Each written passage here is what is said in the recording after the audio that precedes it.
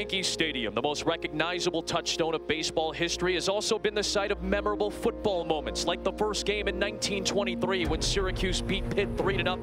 Notre Dame won one for the Gipper in 1928, and a game of the century as Army and Notre Dame battled to a scoreless tie in 1946. Now, one block north of the original site, the tradition continues at New Yankee Stadium in the 10th New Era Pinstripe Bowl, all part of Capital One Bowl Mania.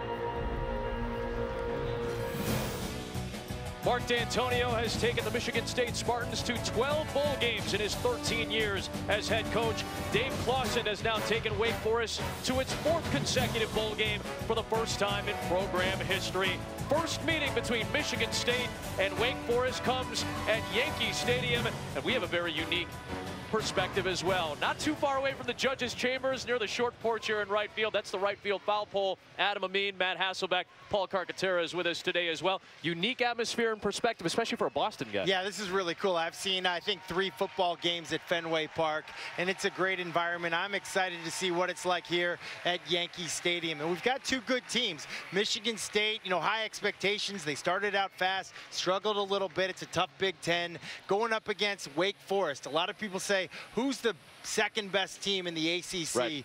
to, to, Clemson in the Atlantic. It's got to be Wake Forest. Dave Clawson is a great football coach. I'm excited to see this matchup today. An opportunity for a nine-win season for Clawson for the first time in over a decade.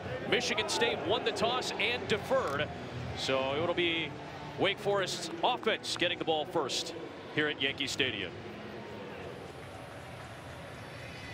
Cole Haan is the kickoff man with Kendall Hinton and Kenneth Walker back to return.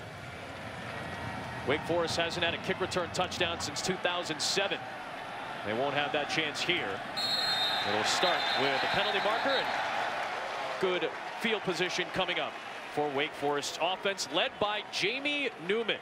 What a great story and one of the really solid ACC quarterbacks, a three-star recruit from North Carolina. Had a great high school pedigree, did Newman, a redshirt junior out of Graham, North Carolina.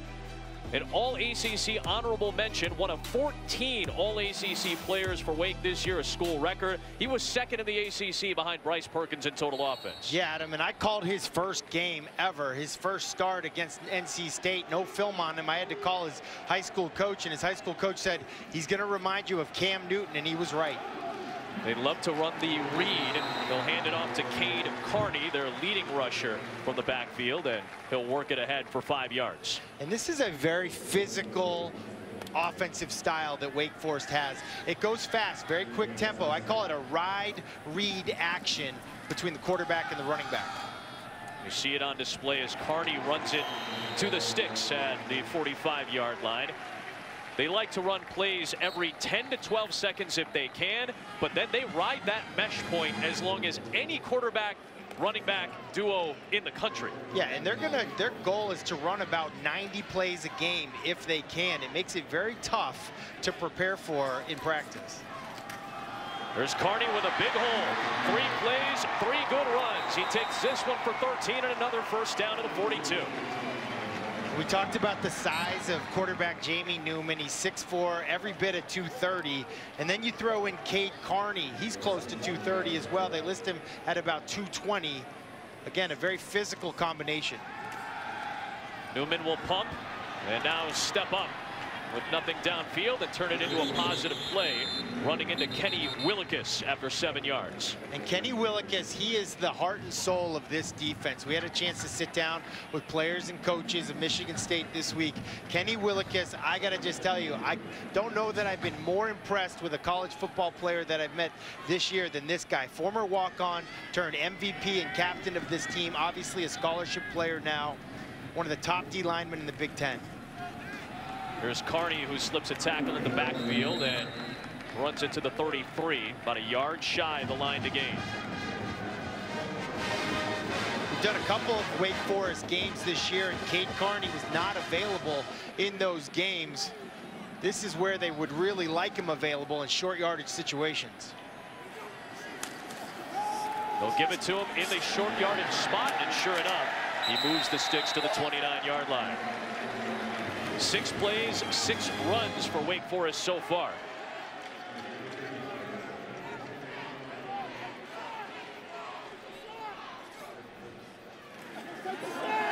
Newman off the fake. Launching for Kendall Hinton. Touchdown Wake Forest. What a drive to open the day.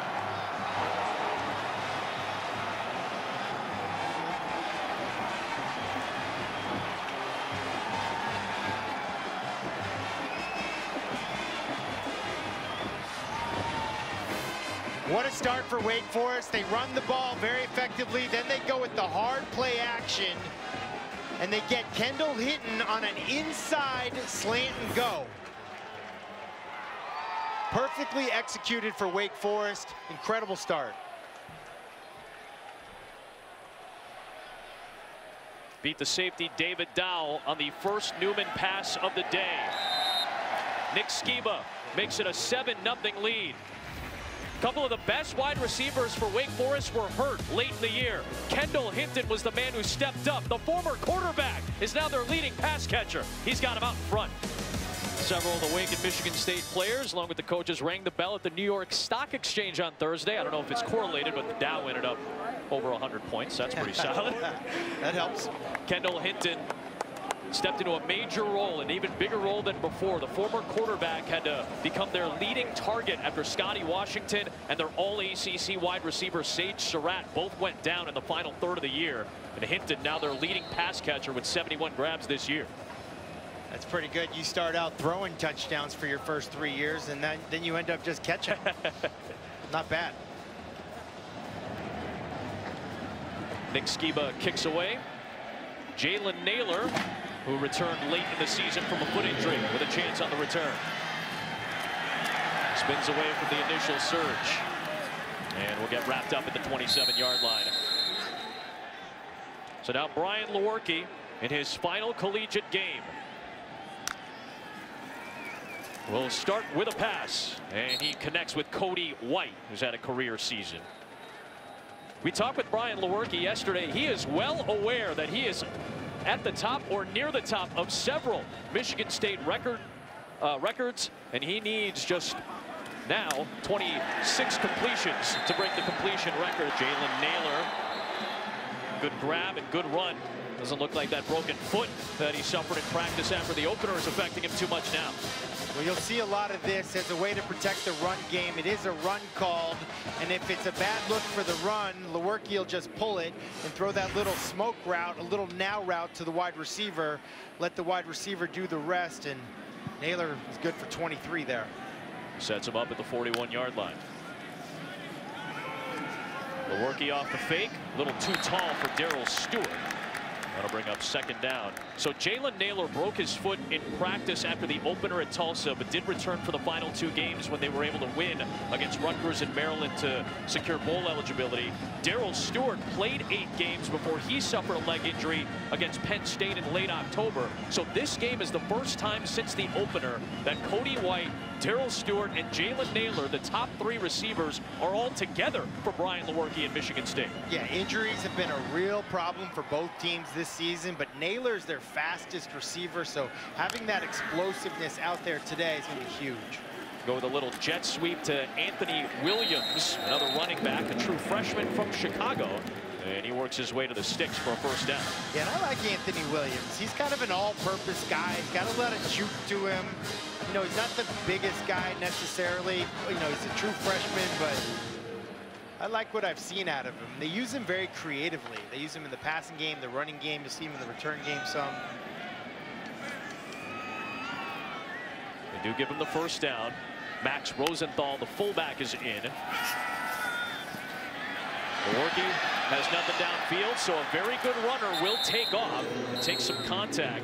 Brian Lewerke is the only Michigan State quarterback in its program's history with 7,000 plus passing yards and 1,000 plus rushing yards. And what I really appreciate about what he did on that play, they went with the double move, like out nuts. They tried to take a shot downfield, and it wasn't there. Instead of panicking or just throwing it up for grabs, he tucked it, he ran, he got about seven yards, maybe eight. Now they're almost in field goal range. Smart play by the upperclassmen. Here's Collins. May have got caught up in the turf there as he was trying to maneuver. Ends up losing a yard on the play with Ryan Smenda on top of him. Elijah Collins trying to become the first 1,000-yard rusher for Michigan State in five years. Jeremy Langford had back-to-back 1,000-yard seasons. In fact, he had 1,400 and then 1,500 back in 2013 and 14. And everybody talks about the same thing with Elijah Collins. They say he's got great vision. He looks up to Le'Veon Bell as a runner, but the vision that he has, really impressive for such a young player. A fake to him in the pistol, a little RPO, and a completion to Cody White for the first down. That was like an R RPO. We're either going to run, run, it or run Elijah it. Collins, or we're going to run it with Lewerke. And then when you, when you, here's the run here. We're going to run it with Elijah Collins. Oh, we don't like that. We're going to run it with the quarterback. Oh, and by the way, there's one more option. We got Cody White.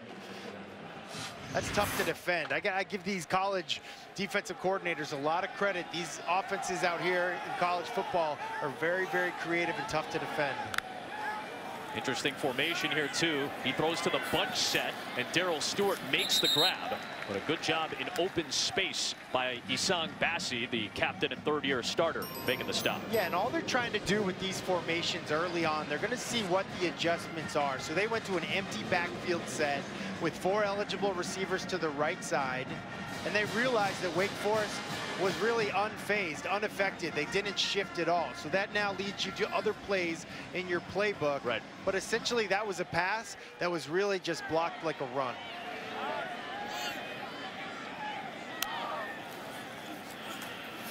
Back to Collins. Good hole opened up by this offensive line. And Elijah Collins powers his way inside the 10. First down and goal, Michigan State. Trey Rucker finally brought him down after 15. Well, check out the actions. Freeze, 41, Ja'Cory Johns. And then Elijah Collins does the rest. The eye distraction pre-snap with the motion and all the stuff in the backfield has Wake Forest defense on their heels, and then Elijah Collins just does the rest. Now, Michigan State, they've had some struggles in the red zone. Yes. Their touchdown efficiency is 110th in college football. That's not very good at all.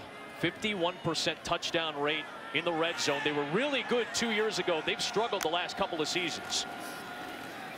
Here's Collins. He gets wrapped up by Chase Jones, the true freshman. About a yard on the play to the five. This is where the frustrations have lied, really, with Brian Lewerke in the offense. He talked to it uh, uh, to us about it the other day. He said, "I need to find the plays that I like and the receivers that I like, and I think I can cash in today." Yeah, it's tough in red zone efficiency. You know, there's not a. It's a small sample size sometimes. Yeah. You know, you get four opportunities down there. You score once. You say, "Oh, we only had 25 percent." You got to make them count when you do get the opportunities. They got one right here. Lewerke being chased. Ryan Smenda is in the backfield quickly, forcing Lewerke into a tough spot. Third down and goal. Yeah, Smenda comes right up the middle, really untouched, gets through. And again, Lewerke does a nice job. Smart player, he's a senior quarterback, throws the ball away. Potential four down territory too early in the game. I, I don't think this is four down territory. You know, that decision is made right now. This That decision was already made and told into Brad Salem, the offensive coordinator. So this play is going to be probably trying to get a touchdown because you know three points is in the bag already. Lewerke being chased. Tough throw. Incomplete. You had Ja'Cory Johns and Boogie Basham both in the area by Lewerke, and he had to get rid of it. But when I see cut blocks up front, that's when you realize the ball's got to come out quick. But nobody was open quick, so Lewerke once again has to throw the ball away, and the field goal team comes on, which is really not a terrible thing. I know as a quarterback, it's hard to walk off the field and throw the ball away on third down, but great quarterback coaches say this all the time. Let end every drive with, With a a, kick. kick. Whether that's a field goal, extra point, or even a punt. Can't have a turnover. So Matt Coghlin, who has missed nine field goals this year, part of that is because they've had to kick so many. That was his 30th attempt on the season. He gets Michigan State on the board. Lewerke did not make the mistake, and that's been one of the criticism of, of Brian Lewerke. 12 interceptions this year. Made good decisions to get rid of the ball on that series.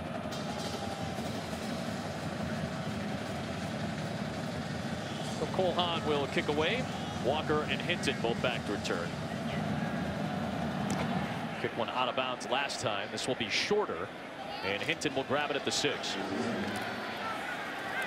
He's got a good hold, but a penalty marker is thrown as he tumbles down at the 39-yard line. We go down to the field and check in with Paul Carcaterra with a special guest. I'm with the most important person in Yankee Stadium. It's Dan Cunningham. 31 years as the head's groundskeeper, and the stadium looks amazing. I got to ask you first, how long does it take you to transform baseball to football? About a week. It takes about a week to get it all, all tucked in and expand the playing field into the dugouts and uh, cover all the, all indications of the. You take the mound out, the infield, and just make it make it look like a football field and play like a football field. It looks and playing like a football field. What would you say the biggest challenge, Dan, as we see Wake Forest on a three-yard run? Biggest challenge for, for me or For you, for your crew to get it to, to this state? uh, the biggest challenge is working with the weather and uh, this time of the year. It's usually it's cold, it's freezing, it's, it's it could be snowing, but uh, right now it seems to be playing fantastic. So we're we're, we're very happy right now. You- You're very happy, but you also could be a little bit nervous during the preparation stages. What keeps you up at night when you know football's coming to Yankee Stadium? Weather. Weather's always on the horizon. Worried about the weather and how it's going to affect the game and how it's going to affect the way we way we operate as a team. And and how about the difference in the type of players, too, when you prepare for baseball players as opposed to these guys? Totally different. They're, they're, they're a different athlete. They're, uh, as you see, they're, the baseball players are good size themselves, but these guys are just How about Mike Panasiuk with a pick six for Michigan State?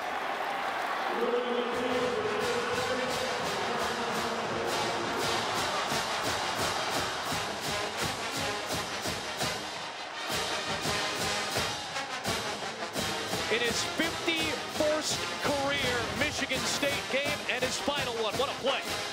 We talked about it all year. Tips and overthrows, got to get those. That's exactly what happened here. I think it was his little brother, Jacob, who actually tips it. And then Big Brother off the back of another teammate, I think it was Harvey, tips and overthrows, got to Gotta get get those. those. And then he gets into the end zone all by himself. We've got a big man touchdown. Anytime somebody 300 plus scores, there's a party going on everywhere where there's a big guy. Congratulations to Big Brother Mike. The Spartans have a 10 to 7 lead. And he gets the penalty for taking the helmet off, but I just got to tell you, as if everyone doesn't already know, bald is beautiful, and he just had to show it off. I mean, this is Yankee Stadium. It's like a little tip of The tip of the cap. cap right there. That's a home run if I've ever seen one here at Yankee Stadium. You saw the coach go over there to him and say, "Hey, act like you've been there before." And he I don't think he's been there before, He's man. Been there before. It is his second career interception. He had one against Northwestern last year, but this time he pumped it into the end zone with the help of his big brother. Very impressive. A defensive tackle with the first touchdown today for Michigan State. Walker takes it out across the 40. A good return on the backed up kickoff with the penalty. It's a strong program for Michigan State. I like what they've got defensively. You know, Jamie Newman, he's being evaluated by NFL scouts. There's some NFL scouts here today. I'd like to see how he bounces back after getting a bad bounce there on the interception for a touch. We'll ride that read with Kenneth Walker and good penetration by Michigan State. They get Jacob Slade into the backfield. That's something you talked about, Matt. You have to have penetration to kind of blow up this ride read and this tempo. Yeah, they have developed, Dave Clawson and company have kind of developed this ride read action over 20 years. I don't know of anybody else who does it this way. Getting penetra penetration in the backfield is the best way that I know of to, to stop it. Donovan Green makes the grab for six. And again, this tempo, Mark Dantonio told us that they practiced with three different huddles to go quickly in practice just to try to simulate this. Newman being chased. Still has some ground to cover. He got hit by Josiah Scott right at midfield, just a couple of yards shy of the line to gain. Well, I feel like if you're a quarterback now, you're going, hey, I got 18. Can we get two more? Yeah, and he gets Raequan Williams, gets him right in the back after that. I think the coaching point there for Jamie Newman is don't slow down. Keep going, and you're going to learn the hard way. Taking a hit like that by a nose tackle. Raequan Williams is up over 300 pounds. That was a big hit.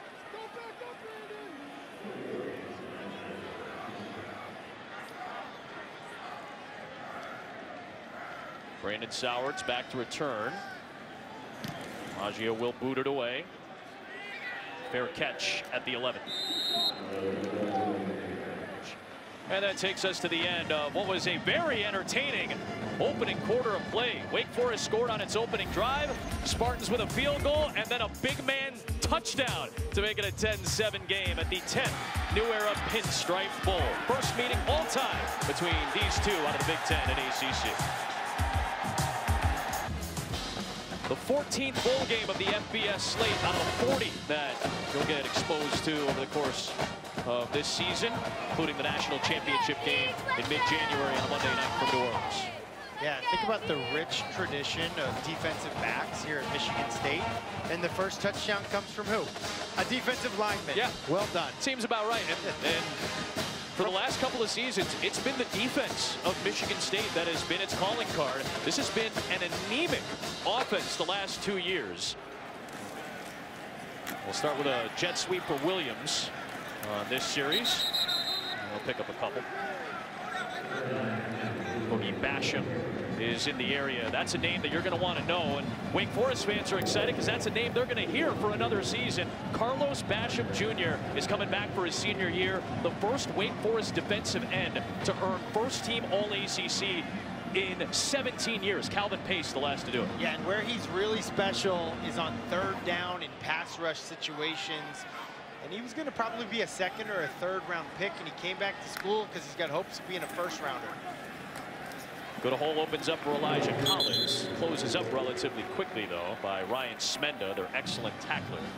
And it'll set up a third down and medium. And we mentioned third down and Boogie Basham. This is his down. He's a pass rusher. Adam, you and I, we call Thursday night football games, and a lot of NFL scouts attend those Thursday nights. And the guy that they were coming to watch was Boogie Basham. They wanted to learn more about him in case he came out early. Yes, he's coming back for another year at Wake, but his pass rush ability is special. There he is trying to work inside. The work he got rid of it quickly. I think it was incomplete, and it was. Julian Barnett could not hang on to complete the process. incomplete pass. It's fourth down. Nice job by Essang Bassey in the area. And this is a good play call. They get the ball out on time, but again, drops. Massey with a nice job of making a hit. But they've been, I think they're number three in the country in drop passes.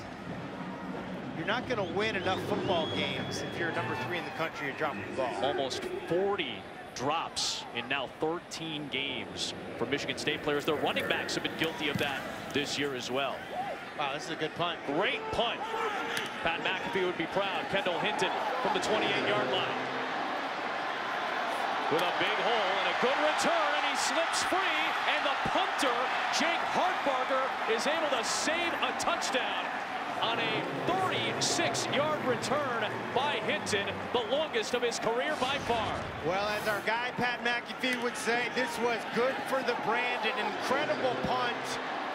Kendall Hinton has had an excellent game. That's a 55, 54-yard gain. Would have been a touchdown, but Hartbarger, the punter, with a great tackle and might have even injured Kendall, Kendall Hinton on the tackle.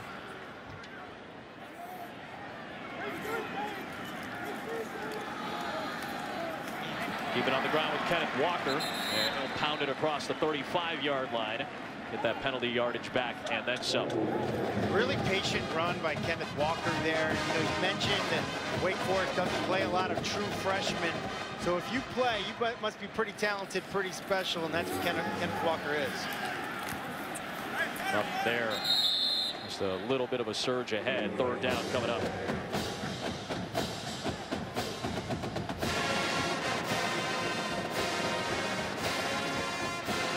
Jamie Newman on this third down, I got to be aware of number 48, Kenny Willekes. Yep. Haven't called his name much so far today. Here's Newman.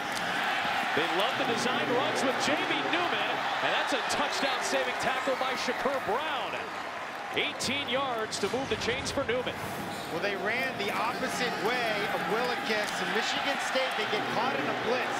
They bring an outside blitz, and Jamie Newman goes right up inside. Some people say solve the riddle right up the middle when they want to blitz you outside. That's what Jamie Newman did. Wake Forest in the red zone. And a handoff for Walker. Ooh, unable to keep his feet after a Josiah Scott dive to the ankles. Josiah Scott mentioned earlier he's the best cover corner, but he's a good tackler. Sometimes you don't get that in a defensive back, but Josiah Scott's got it, got it both. Newman keeps it. Ooh, that's stacked up running into Tyreek Thompson.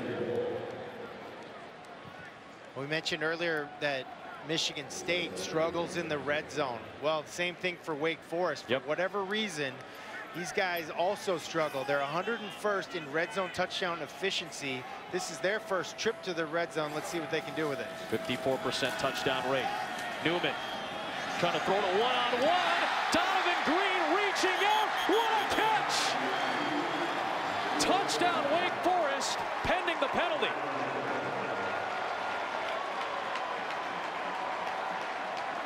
Could have thrown a couple flags on this one. There Yeah. was holding inside on Kendall Hinton.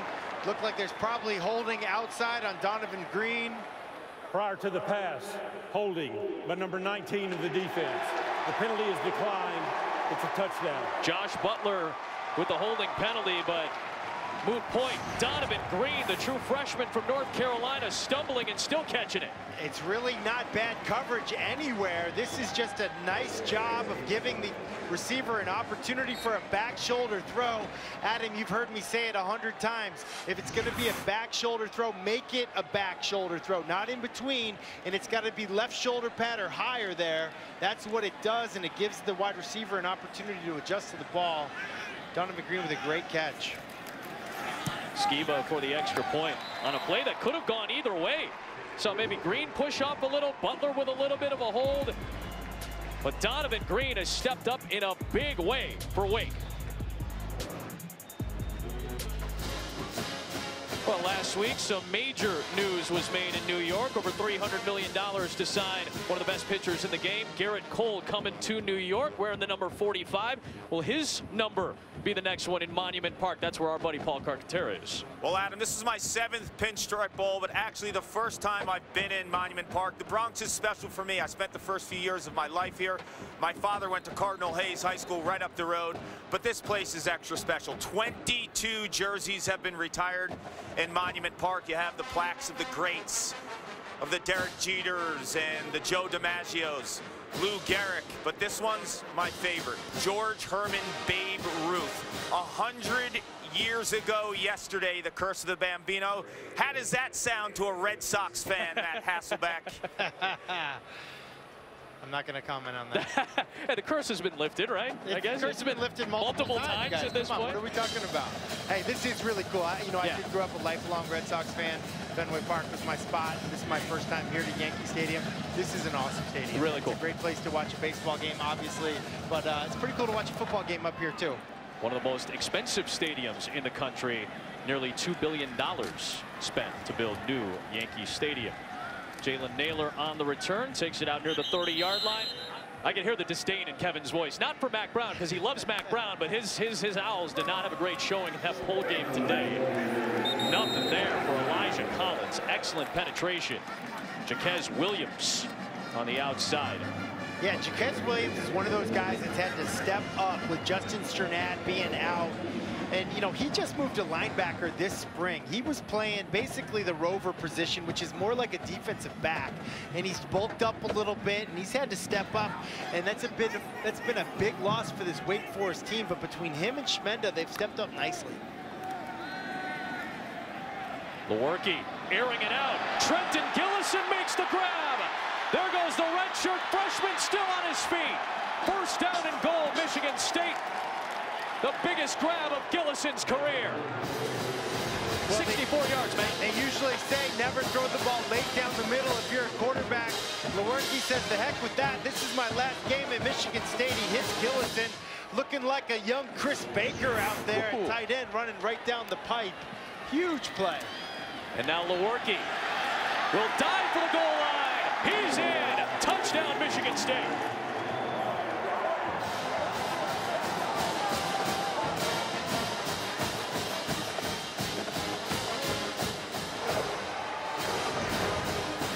Adam, we mentioned an RRPO, a run, then a run, and then maybe a pass. Nope, the work he says, I'm going to keep it all by myself. He dives in, clearly a touchdown. That's indisputable video evidence. No need to review it. Well done by the senior quarterback after a huge play to the tight end right down the middle. Gillison had made eight grabs, and his longest was for 19 before that 64-yarder, which helped set up Lewerke's third rushing touchdown of the season. Trenton Gillison, top tight end in the state of Ohio in high school, ends up at Michigan State. The biggest catch of his young Michigan State career, and Brian Lewerke making his 38th career start for the Spartans, dives in for the score. Kendall Hinton back on the field, had a good punt return on his last touch. And his shiftiness will take him out across the 30 with a penalty marker thrown. Just over eight minutes to play first half. Cade Carney. Solid run of about four and a half. Running into Mike Panasiuk. And when you're running up inside like that with pulling guards, pulling offensive linemen, it really takes that outside defensive end pass rush out of it. You we mentioned Kenny Willekes so much. He's coming outside. We're running right up inside of it. It's no big deal. Willekes was bringing some pressure, but he may have lost his feet. Newman ended up throwing incomplete to Jaquari Roberson. And some of the, this tempo, I think the tempo is so impressive, again, with Wake Forest. And they do a great job. They've got three guys here. They're shielding the signals. We're in a baseball stadium. There's three guys. One guy's live. Two guys are dummy signalers. And they get these plays in so quickly. I'm sure Yankee fans aren't uh, worried about signaling or anything like that in various playoff series. There's a run for Jamie Newman out across the 30. And he's got the first down. Antjuan Simmons finally closes out the play. And you really think about signaling, your third base coach in baseball, but it's so much in college football. Right. the NFL, there's the coach to quarterback communication system, basically a walkie-talkie right into the helmet of the quarterback. In college, the quarterbacks are on the sidelines hearing the play and then signaling it in to the quarterback. Boy, Jamie Newman, how did he get out of the pack? What an elusive run by Newman into Michigan State territory. Picks up 19 yards. He looked like he was dead to rights a couple times. Well, we mentioned he looks like Cam Newton. Ride Reed, they bring the corner blitz. It's Josiah Scott is a good tackler. And Jamie Newman basically says, get off of me with a huge gain up the middle. Perfect play call by Michigan State, just not well executed because of the physicality of Wake Forest quarterback Jamie Newman. Cade Carney, short gain, second down, running into Raequan Williams. Get a little feisty out here. I'd say it started in the first quarter. You know, you go a long time without playing a football game. These guys are ready to play some football. It's been a physical contest, both up front and outside of the skill positions. Newman off the back foot. He's got Jack Freudenthal. And the captain and senior takes it home for a touchdown.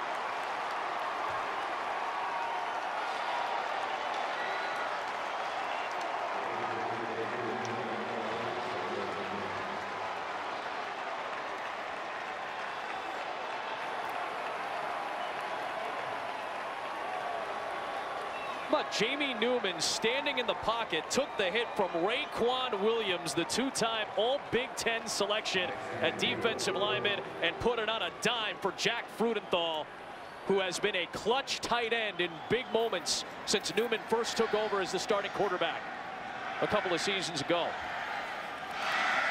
Sciba adds the extra point, and Wake Forest jumps back out in front. We've already had four lead changes here in the first half of the New Era Pinstripe Bowl. Well, you mentioned Jack Freudenthal, the tight end. He's lined up. He's lined up right here, and he's got this middle linebacker here in a one-on-one situation. Joe Bachie, the normal linebacker, he is not out. Tight ends making an impact in this game right down the middle. Dave Clawson said to us yesterday, look for this matchup. If they want to play us a certain way, we're going to run our tight end right down the middle for a huge play. That's his fifth touchdown of the year. Had that huge game against North Carolina State with three scores. Had a game-winning touchdown against NC State a couple of years ago. And what's your reward? Go cover. Yeah, go cover the kickoff. Yeah. Here's Trenton Gillison, who's been impactful already today. He takes it out across the 25-yard line. If I could say one other thing just real quick, Adam, I, I love what Dave Clawson does with the whole person here. The student athlete at Wake Forest, they get an experience that I don't think a lot of Power 5 student athletes get. He does a great job developing them as young men as well. Jalen Nailor on the sweep. It's kind of a cool day, too. Remember, this is Dave Clawson's kind of birthplace as a head coach. He started his career here in the Bronx, not too far away, over at Jack Coffey Field as the head coach of Fordham. Yeah, he, he talked about those days at Fordham, and he, he said, what'd you learn at Fordham? He said, I learned everything about being a head coach. I really had no idea. I was a coordinator who turned head coach and had no idea. I made all my mistakes there. And now Wake Forest gets to reap the benefits of what was developed here in New York City years ago. 31 years of age when he got named the head coach at Fordham. I got a little trivia for you, Adam. Hit me. Dave Clawson went to Williams College. Who else went to Williams College that might know a little something about this stadium? Cody White makes the grab. Good gain for a first down. I actually do know this. George Steinbrenner.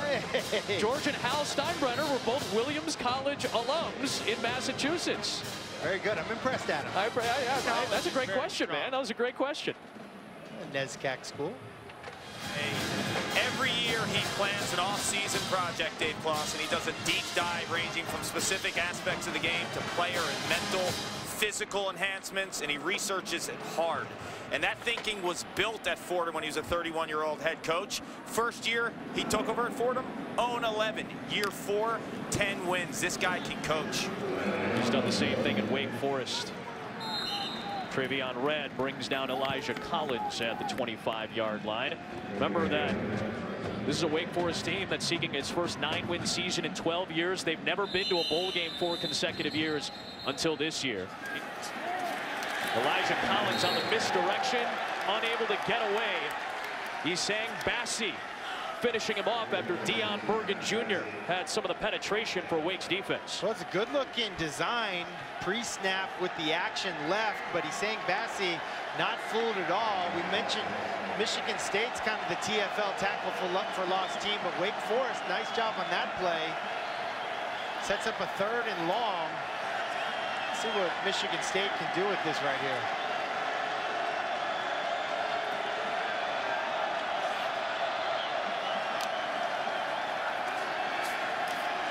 Lewerke past the sticks. He's got Jalen Nailor for a first down inside the 20.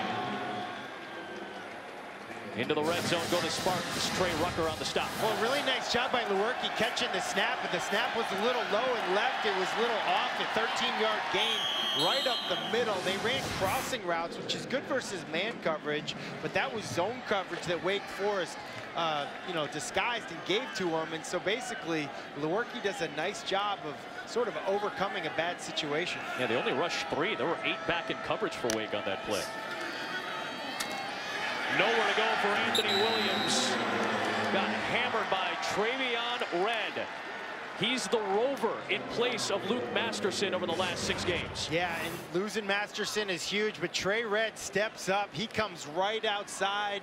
You know, the New England Patriots say, set the edge, and that's called setting the edge, Trey Red. Another tackle for loss. That's the fourth one today. That one lost another four yards. I know we're not calling it the red zone because you're outside the 20-yard line, but in my mind, this is the red zone, and Wake Forest is stepping up. Lewerke gets rid of it to Darrell Stewart. Stewart is going to have to run out of bounds, being chased out by Jaquez Williams. And again, that was one of those plays where technically, yes, it's a pass play. If you're just watching at home, that's a pass play. Extension of the run, though, right? But that is really just a running play. The offensive line, they're blocking the run, and all those other receivers out there, they're just blocking like it's a running play. Very high percentage completion pass. Wake Forest is in kind of a bend but don't break defense here. Trying to keep him out of the end zone. Lewerke pumps, and down he goes. It's Boogie Basham in the backfield.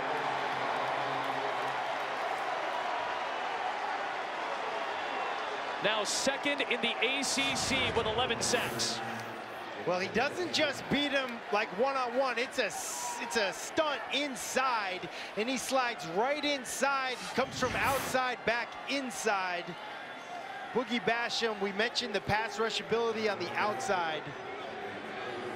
He's kind of a lean guy, but right up the middle, Lewerke had no chance. I'm surprised Wake Forest isn't calling a timeout. They've got all three to work with.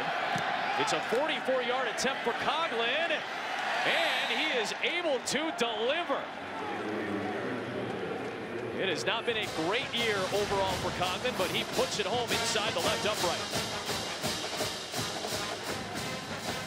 Still a pretty good first half. I mean, but uh, four lead changes, some great football, great offense, fun to watch. And the timeout questions for Dave Clawson a little interesting there. One point lead for Wake Forest. Mercedes-Benz halftime report coming up with Kevin, Jonathan, and Mark. You're watching the 10th New Era Pinstripe Bowl, all part of Capital One Bowl Mania. One of the five boroughs of New York City saw four lead changes in a first-time meeting between Michigan State and Wake Forest. Brian Lewerke with a rushing touchdown in his 38th and final Michigan State start. Jamie Newman was equally impressive. He had three TDs in that opening half of play. Michigan State in a bowl game for the 12th time in 13 years under Mark Dantonio, as Wake Forest is in a bowl game for the fourth consecutive time for the first time under Dave Clawson, trying to get nine wins. Adam Amin, Matt Hasselbeck, Paul Carcaterra and a moment as well here from Yankee Stadium. Impressive stuff both sides. Back and forth opening first half. Yeah, really exciting game. I mean, I think this whole bowl experience has been really fun for everybody, a fun week, and the game has matched that. You know, you mentioned the four lead changes, exciting offense, both quarterbacks playing well, and a defensive touchdown, a big man touchdown at that, which is always a good time. Michigan State will get the ball to start the second half. Jalen Nailor back to return along with Anthony Williams. The All-American kicker Nick Sciba out of Clover, South Carolina will boot it away. One of the Upmen is going to grab it here for Michigan State. Take it across the 20-yard line and out across the 25. Looks like Maverick Hansen made the grab as we check in with Paul Carcaterra. Matt, you mentioned the quarterback play. Well, I just spoke to Mark Dantonio, the Michigan State head coach. He thinks Brian Lewerke has opportunities to hit downfield with his wide receivers on the outside, but to establish that, you got to get the run game going, and that's an area of concern after the first half. Defensively, two things. They have to stop Jamie Newman, Wake Forest quarterback. He rushed for 87 yards in that first half, and then blown coverages in the middle of the field have haunted the Spartans.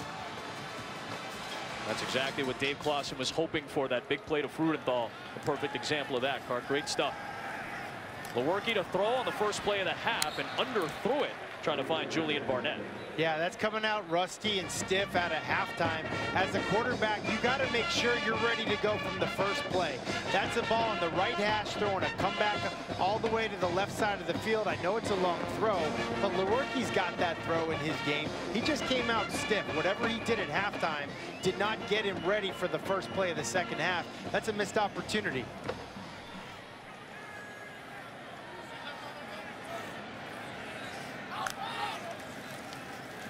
Off to Collins. Slipping ahead to the 31-yard line. Brian Lewerke, originally from Phoenix, is where he went to high school, but a Tacoma kid growing up. Big Seahawks fan, was a big fan of Matt Hasselbeck growing up as well. Had the relationship with Kirk Cousins when he first came to Michigan State for a visit. He and Kirk text once in a while. Obviously, Kirk's very busy in his NFL career, but maintained that relationship, and that's been very key for Lewerke's growth. Yeah, he talked about the relationship with Kirk Cousins and really a lot of quarterback tradition here at Michigan State. A lot of good players have come through this program. He also mentioned he was a Mariners fan and uh, didn't really care too much about playing at Yankee Stadium. Yeah, absolutely. Good connection to Trenton Gillison, who's had two big grabs today. This one for a first down to the 45. Cark?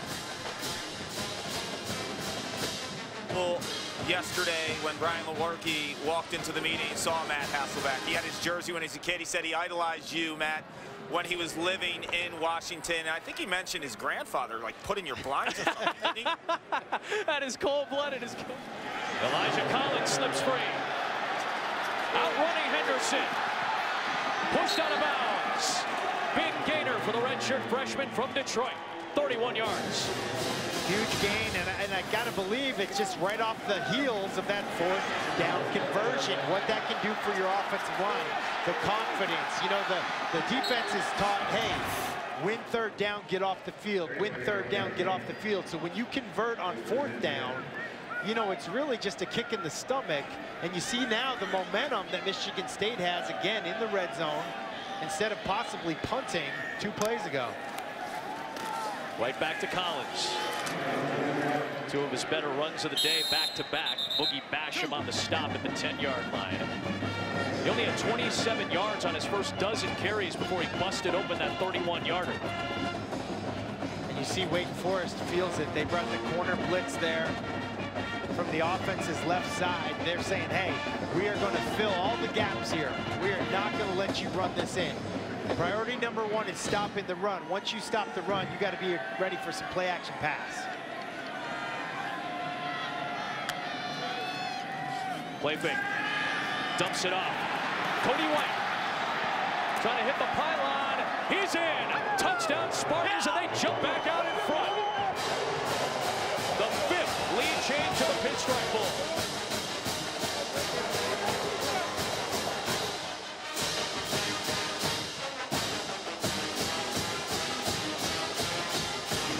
That's a big drive, and I think offense coordinator Brad Salem saw what I saw.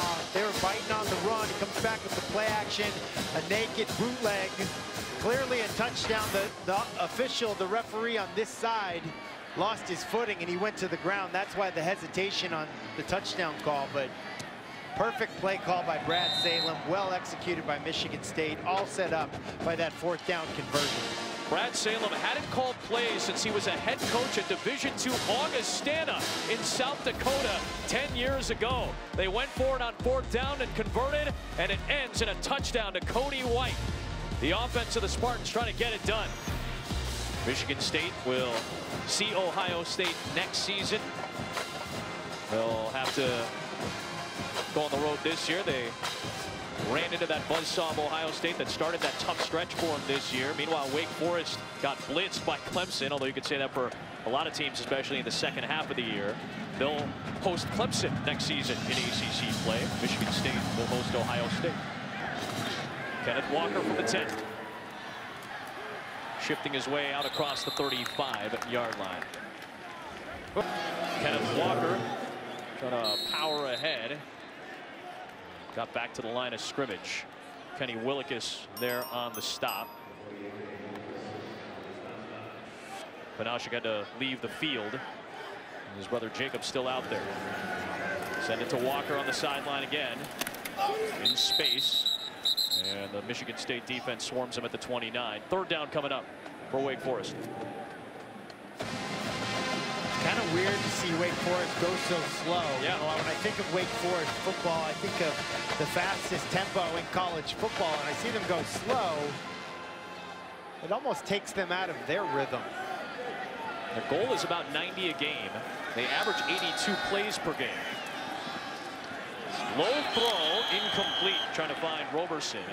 That was the 49th play of the game for Wake Forest. In fact, Michigan State has run more plays than Wake in this game. Yeah, which is really surprising, and you got to give Michigan State, Mark Dantonio, some credit. You know, they, they do a nice job of kind of taking away your first option. Kendall Hinton had 70 catches coming into this game. He's got one tonight.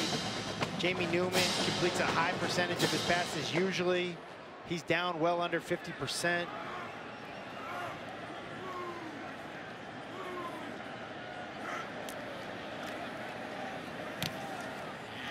Maggio with the punt. Another good one inside the 20 for Sowers. It's the first man miss, and will make it a positive return out to the 25-yard line. if you start seven different people at left tackle yeah. and three true freshmen, or sorry, two true freshmen running backs and a redshirt freshman, it's going to be hard to have the kind of season you expect to have when the season starts. Wide open man, Jalen Nailor near side. Able to corral it shy of midfield. They'll spot him right near the 44. And this is close. This is a, you know, a really close one right here. This is a huge play. Could have been more. Could have been more, but Nailor, you know, securing that catch was everything. You know, getting back to Dantonio uh, yesterday, just talking about the seniors and the senior leadership. Yeah. Talking to guys like Kenny Willekes and talking to Brian Lewerke, just really get the sense that these guys understand that the game like this is bigger than just about them. It's about the Michigan State program in general. Sorry, Matt Cody White picks up the first down. It's easy to see both sides of the equation. Oh, well, they haven't had a whole lot of success as of late, but you know, before that, they went to the playoff. How do you evaluate this team? They went 7 and 6 in 2012, and that included that bowl win in the Buffalo Wild Wings Bowl, and then they won those 36 games over the next three years. That's what a lot of coaches will tell you. The value of these bowl games is exponentially bigger and bigger with all those practices that you get. They work it to Anthony Williams here. Another first down near the 30-yard line.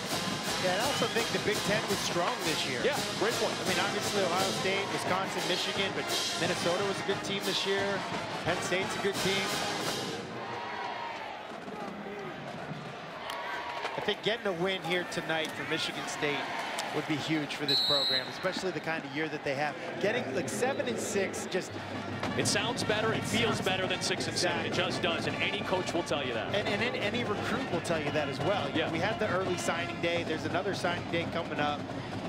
I just think that that's a factor here, and you could you could sense it yesterday in our time, not only with the coaches but also with the players and, and senior leadership. You right. know, I, I can't say it enough you know, just how impressed I was with the guys that I met on this football team.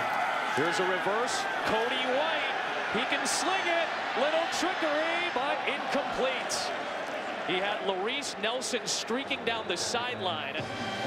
Cody White unable to connect. That's the third career pass for White. And he's going to kick himself if he ever watches this film because he's got Jalen Nailor wide open from the get-go.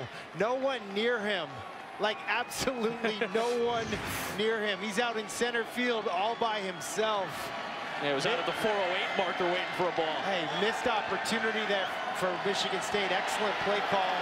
Just couldn't get it timed up from wide receiver to wide receiver. Out of the empty set on third down. Lewerke intercepted off the hands of Collins. It's intercepted for Wake Forest by Smenda. He lost the ball, and Bassey was there to recover it. It's Wake Forest football. A key mistake for Lewerke, and that's been his season. We've seen a ton of good, but at times some rough spots, in particular with the interceptions. This has been Michigan State's season, you know, story of their season. Missed opportunity to play before, and then tips and overthrows. Got to get those. That was Smenda on the interception. The trick play should have been a touchdown. Instead, they go with the check down, what you think is more conservative, leads to an interception. Again, no points for Michigan State. Man, that is a tough sequence because yeah. the reverse pass was such a perfect play call. Third 100-yard rushing game of the season. Boston College, Duke, and now Michigan State. That's for Jamie Newman.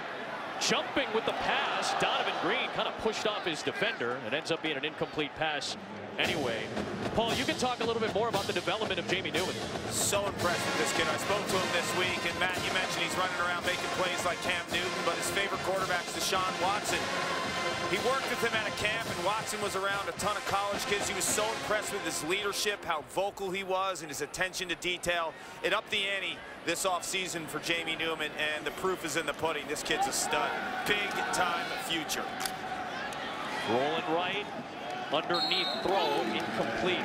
Trying to find Donovan Green. Now, obviously, we were talking about recruiting and development and things like that. Tom Luginbill, who does a fantastic job for us, especially on the recruiting trail, was texting with us earlier today, and he was saying, listen, if Jamie Newman more people took notice of this guy, he would be in a bigger program, but he's going to play in the NFL for a long time. He would have been an All-American at maybe a more, I guess, a bigger school, for lack of a better term. Little back shoulder throw And it is good for a reception near the 40-yard line. A.T. Perry with his fourth career grab for 29 yards. Well, this is that same formation. Four receivers on one side. Give me an isolation on the other side. They go to the tall receiver. It ends up being a back shoulder throw. Again, these are the Sage Surratt plays that younger receivers are having to step up and run in his absence. Newman in a collapsing pocket, just trying to hold on to the football. End up taking a loss on the play. That may take us to the end of the third quarter. Drew Beesley and Kenny Willekes off the edges were there to wrap up Newman. Yeah, Jamie Newman was up over 100 yards rushing. I don't know if that goes against his average there, but uh, yeah, it does. He's under he's under 100 now at 97. but an impressive runner, a developing passer with a bright future. You know, and Dave, Dave Clawson just trusts him in these big situations, in these close games. He's done a nice job all year. Hey, we showed up in New York City. We were hoping for a competitive game. It's a beautiful night at a great venue. Five lead changes in the first ever meeting between Sparty and the Demon Deacons. Fourth quarter coming. Some contemplative moments before the start of the fourth quarter for the senior quarterback in his final Michigan State game, Brian Lewerke, his team up by six. Yeah, that's called stretching, too, Adam. you might want to look into it. Nah, I, I, was just, my back stiffening up a little bit, man. Hey, this has been an awesome night. Awesome, uh, the awesome. Yankee Stadium is as advertised. If you haven't seen a game here, you got to do it. A football game, a hockey game, a baseball game, yep. whatever. This is a really cool venue, and what an incredible night. Uh, December, late December. Yeah, awesome. Rangers have played here a couple of times in a week. They played the Devils and the Islanders here in the Stadium Series. Newman underneath. Oh, that was almost a pick for Thompson. That would have been a huge swing right there. Instead, third down and long coming up. Well, Tyriq Thompson subbing in for Joe Bachie. He's now the man in the middle. He's a thumper. Great first and second down linebacker. He'll hit you. You know, like say, I like to say to guys on defense, you got feet for hands, but I mean, it's harder than it looks at home, I got to tell you, but that's a nice play by the defender. You mentioned it, Joe Bachie was declared ineligible after eight starts this season for testing positive for what the Big Ten deemed a performance-enhancing substance. He is not with the team as he prepares for the next chapter of his career. They'll run it here with Carney on fourth and long. They work it to the 38. Still about eight yards to go on fourth down, so they're going to keep the offense out of the field. Inside the 40 of Michigan State. Newman, he's got one-on-one. -on -one. Receiver with separation and green, but it's incomplete. Josiah Scott had the coverage down the field, but a flag was thrown back at the 48-yard line. A personal foul, hands to the face by number 79 of the offense. The penalty's declined. It's first down. Sean McGinn on the penalty. That's declined. It's Michigan State football. Uh, That's a disappointing penalty, but it's a great play call. You can tell they love this Donovan Green kid. They love his ability. They love his upside. Had an opportunity for it. This is a guy they, they got in the recruiting war with Notre Dame, Tennessee, and South Carolina. He chose Wake Forest. He's got a bright future. That would have been a huge answer on fourth down, but Jamie Newman just didn't give him enough air on that. Completing only 42% of his passes tonight is Newman, and that's an area where I really feel like he needs to improve and develop as a passer. But he's got a bright future. He just needs to fine-tune some of those things. Can't miss the gimmies like that one. Elijah Collins to start this Spartan drive, and he runs it for a first down out near midfield. Brian Lewerke with his team up by six going back to work. We talked about it. He was aware where his name is in the record books. One of the two that he pointed out to us immediately was the total offense mark. He wanted to pass Connor Cook. Sure enough, he's done that today. The most career total yards in Spartan history. He's got 19 completions. He's nine shy of Kirk Cousins' mark for that all-time at MSU. Oh, dangerous pass, but Mosley comes down with it. Amari Henderson was there to maybe make a play, but Mosley, the true freshman, comes up with the biggest catch of his season. And this is another great athlete like we're talking about. Trey Mosley has come on huge the last two games. This was a guy, like you said, a true freshman. They thought maybe they were going to redshirt him. Plays against Maryland, has eight catches for 100 and something. Sorry, eight catches for 73 yards, but I will tell you, he could have had 100 and something. Trey Mosley is a guy that Brian Lewerke believes in. Brad Salem believes in. Yep. That was a huge play for Michigan State. And now Lewerke on the ground. Ducking ahead to the 30. Lewerke is now surpassed 300 passing yards for the fourth time this year. Yet a season high in the bowl clinching win against Maryland 342, 319 today. And all of that is great. All of that is great. I really appreciate that. Sure. My good friend Steve Young will say, what you do from the 20 to the 20 is great, but what you do inside the 20, both the plus 20 and the minus 20, is most important. We've got two touchdowns in five trips today. Running the reverse. Good adjustment by Nailor. Penalty marker thrown. Gets run down by Jaquez Williams past the sticks, but we'll check the flag back at the 35.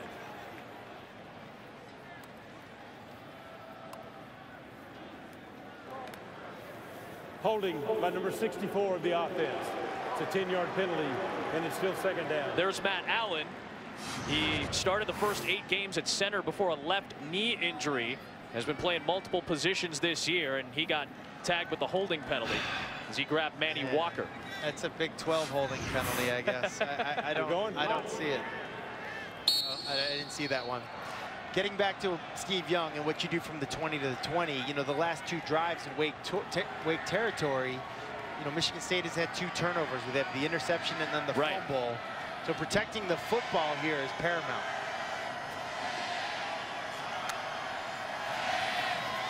Lewerke keeps. Nice move to get around Walker, and he runs it for a first down inside the 20-yard line.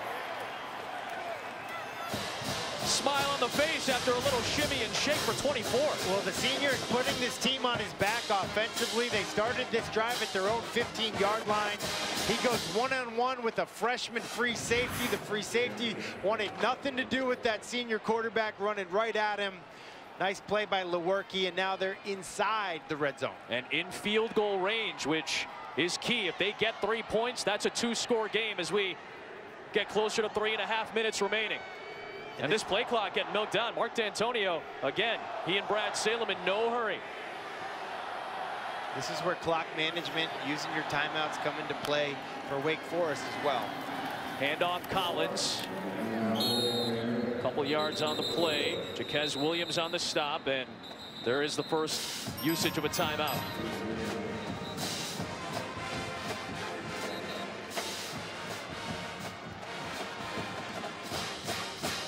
Three eighteen on the clock. Second and seven for Lewerke.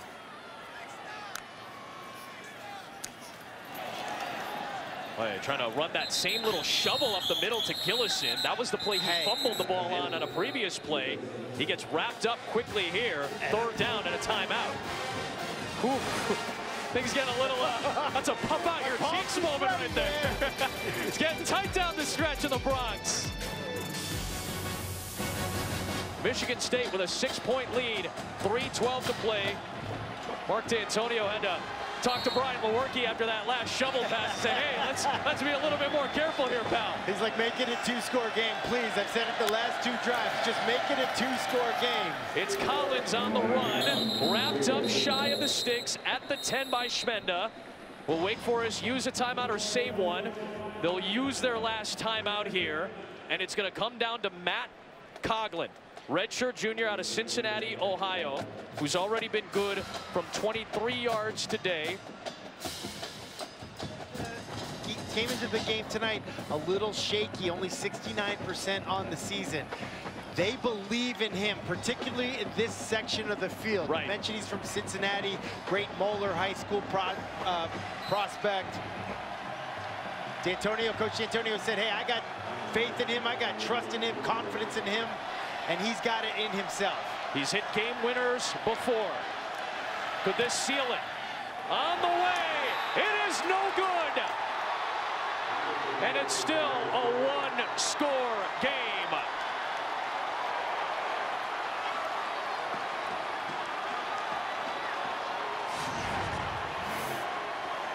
Matt Coghlin has hit three game winners in his career. This one would have been essentially good for a game winner to make it a two-score lead with the waning minutes here in the Pinstripe Bowl. But he knew he had pushed that one from the start. And Dave Clawson, his nine-win season hopes are still alive with three minutes to play in the Bronx. Man, this game has been unbelievable. Last three drives into Wake territory. Looked like Michigan State could put it away. They've come away with no points. That's not an easy kick from the left hash. I know you're close. It's not easy. Still, you expect Coghlin to make it, but let's see what Jamie Newman can do. He has not completed a high percentage of his passes tonight. And that one got dropped by Freudenthal. He's going to need to step up on this drive. We've seen him do it before this season. Can he do it tonight, Adam? Second down coming up, inside of three to play. No timeouts remaining for Wake Forest. They have been in this spot plenty under Dave Clawson and this year. This is their sixth game that could be decided by one score or less this season. Newman. That ball may have been deflected out of his hands. Kendall Hinton smartly picks it up because it might have been a lateral, and Hinton's going to keep running it and work himself back to about the 16-yard line, and Jamie Newman's a little bit banged up after that play, and Dave Clawson can't stop the clock. Kenny Willekes. This is a big play by, by Willekes to get the hit on Jamie Newman. Jamie Newman, if he can't go, should stay on the field, lay down for an injury timeout. And now, because as you said, Matt, Jamie Newman's so banged up, here comes a guy who's been in big spots, has started games, including this year, a guy you actually think is pretty good. Sam Hartman, the sophomore, steps in in a huge spot. Yeah, I actually think that his skill set might be better suited for a two-minute drive anyway. Third and long, don't be surprised here if Wake Forest has already called the fourth down play in the huddle. Three-man rush for Michigan State. The first play for Sam Hartman in the ball game is incomplete, looking for Greene. Had Trey Person in coverage, and it brings up fourth down. Sam Hartman cold off the bench and launching it. And Donavon Greene is a little bit slow to get up after that play. Wow. Sam Hartman, he's got 20 career touchdowns. That could have been 21. Again, just a little bit more air for both of these quarterbacks gets him a completion there. It comes down to this. Wake Forest out of timeout, still above two minutes left, so the game wouldn't be mathematically over. But still, a huge opportunity for Michigan State to put themselves in position to win it. Wake needs 14 yards. Another three-man rush. Hartman spinning away from Willekes. Still on his feet. They need the 30-yard line. Hartman stops, fires, incomplete. Turnover on downs. It's Michigan State ball.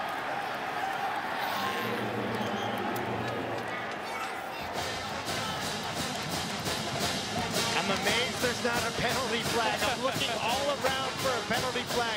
There was contact in the backfield. There was a great pass rush. Looks like clean football, but just surprising. Excellent effort by Hartman, who came in. Willekes on the chase.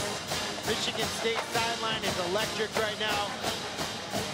They realize what they've just done. They pitched a shutout in the second half of this game at Yankee Stadium. Sorry, in the fourth quarter at Yankee Stadium to probably, and I say probably, seal the victory. Yep. Depending on how much time is burnt off after each play, you could burn the rest of this clock out. It'd be close. But Wake Forest, no matter what, cannot stop the clock. They're out of timeouts. Extra body in the backfield as well is Jacob Isaiah as a blocker for Collins, who got tripped up by Isaiah on that play but it keeps the clock moving. Yeah, and this is the play I'm talking about. Obviously, Wake would rather have Jamie Newman in there, but I think Sam Hartman gives him a chance, and he almost does. Yeah, 18 really, Perry was right there. Really great effort. And I think what, what's interesting to me right there on that play, Wake Forest was going to let Michigan State score. Yeah, good so call. They got the ball back, and ironically, probably by accident, Jacob. Elijah Collins trips on his own yeah, guy. Isaiah, who hadn't really been in the game, he's basically the second fullback, just ends up going down to the ground, and Collins trips over it. So the play clock will wind all the way down to take off as much time as possible. A minute 29 remaining. Brian Lewerke, moments away from closing out a 38-start career with a victory. He's gotten to the top of the total offense charts in Michigan State history, and he's had an impressive performance in many phases. Well, we talked to him. We said, what would it mean to get this victory? What would it mean to break some of these Michigan State records and make your mark on Michigan State history? And you could just see the look on his face, how much it meant to him, all that these guys have been through, all that these 21 seniors have been through and really a gritty performance by him. They had the turnovers. And I think, Adam, you've got some news for us. Breaking news, guys. He's our Capital One player of the game. Couple of completions shy of Kirk Cousins' record, but he passes Connor Cook for the most productive quarterback in Michigan State history in terms of yardage. Three backs in the backfield again, really two fullbacks and Collins. And again, Wake Forest just said, hey, go ahead and score. And Collins recognizes it. They get the first down, and that will do it. And that's smart football by Wake Forest by, try, by trying to let them score. And it's smart football by Elijah Collins, the redshirt freshman, to go down. Reminds me of my old uh, teammate Ahmad, Ahmad that's, Bradshaw. That's right, Super Bowl. Super Bowl. It takes an unselfish running back to go down and take a knee. That's a hard. That's a hard touchdown to give up. And then at the next level, you really disappoint your fantasy owners. Yes, you know, yeah, yeah. Now at that point, yeah. Here, here we're fine, but. but again, a credit, a credit to the second half that Michigan State had. Yep, especially know, defensively. Defensively, yes. No points allowed in the fourth quarter. Neither team scored, in fact, in the fourth quarter. But Brian Lewerke has got to take one more victorious knee to close out his Michigan State career.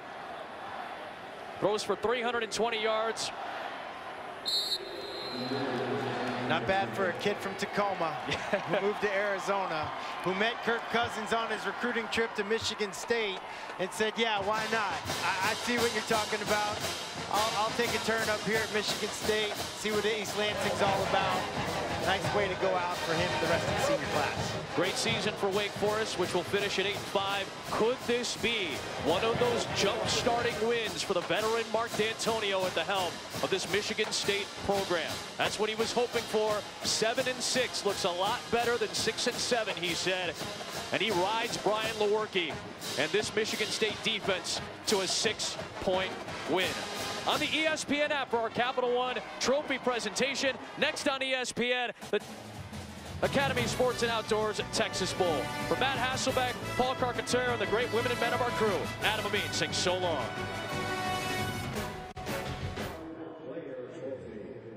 Well, down to the field we go. Paul Carcaterra anchors our ceremonies. Here to present the championship trophy to head coach Mark Dantonio of the victorious go, guys. Thank you. Michigan State Spartans. From the New York Yankees, managing general partner Hal Steinbrenner.